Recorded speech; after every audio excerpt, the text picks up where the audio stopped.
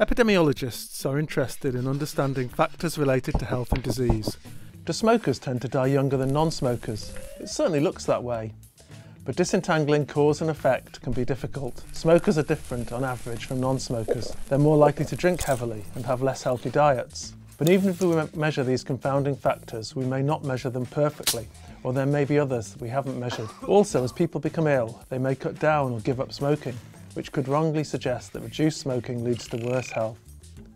We could randomly assign 50,000 people to smoke and 50,000 people to not smoke and follow them up to monitor their health.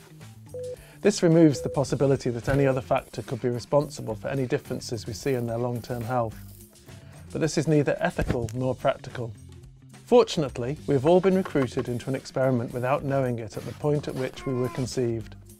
Our genes, which are passed on randomly from generation to generation, influence how much we eat, sleep, drink, smoke and more.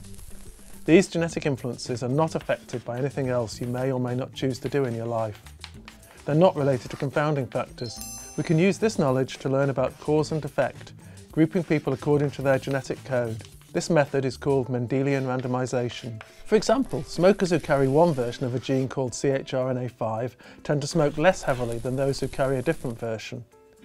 When we group people according to which version of this gene they have, we find that the people with the version of the gene associated with heavier smoking do indeed die younger. But is the gene influencing how long we live in some other way? We don't think so.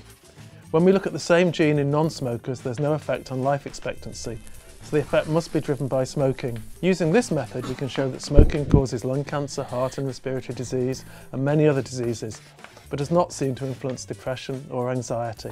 Mendelian randomisation has already begun to tell us about factors that influence our risk of disease. Now we're using the same approach in other ways to look at several risk factors together and to look at what influences disease progression, which may help us to develop new treatments.